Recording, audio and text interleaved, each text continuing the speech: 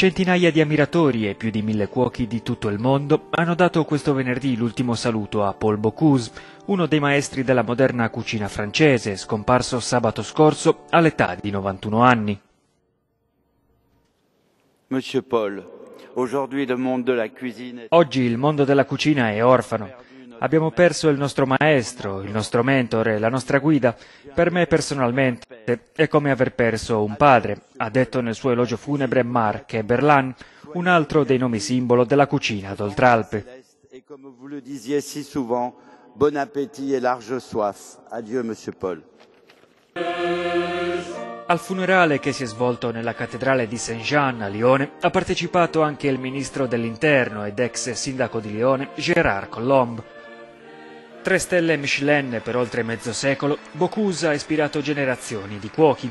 Trasmettere la cosa più importante, era solito dire, la cucina non si impara sui libri.